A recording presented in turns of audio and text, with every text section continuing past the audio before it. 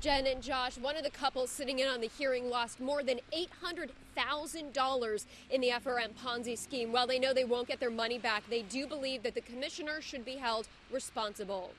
843,500. That's how much the McElveens lost in the FRM Ponzi scheme, and they believe the banking commissioner Peter Hildreth didn't do enough to stop it. There was no management in banking. Nobody reviewed the workload of the subordinates.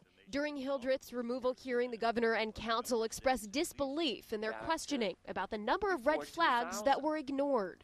Audit after audit, deficiencies, misleading information being submitted. Why didn't it stop earlier? The deputy director of the securities department said he tried going to the banking department and to the attorney general's office, but got nowhere. I was asking for the, the, uh, um, the audits. I didn't get them.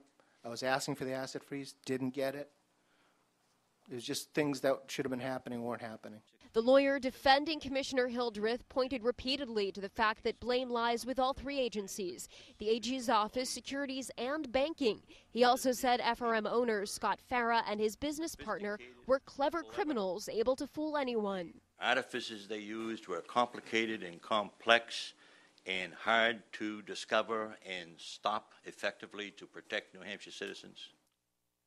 Commissioner and his wife were expected to testify this evening. They've been rescheduled to speak tomorrow morning at 8 o'clock, and the governor and council are expected to make a decision on this case on December 6th.